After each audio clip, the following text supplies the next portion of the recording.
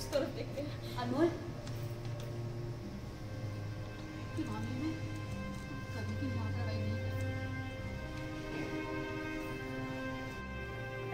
अगर दिव्यासा नहीं मिली ना तो मैं तुम्हें छोड़ूँगा नहीं। अगर दिव्यासा नहीं मिली तो हमारा रिश्ता हमेशा के लिए खत्म। अगर तुमने दिव्यासा को थोड़ी सी भी चोट पहुँचाने की कोशिश की ना तो हम तुम्हारा गला धड़ से अलग कर देंगे। तो मारो मुझे मारो। तुम मुझे यहाँ मारोगी और वहाँ वहाँ दिव्यासा भी नहीं बचेगी।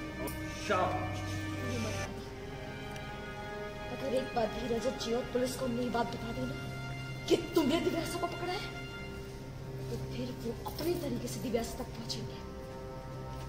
तुम घर बैठकर जेल में चक्की पीस लो। तुम अभी रुको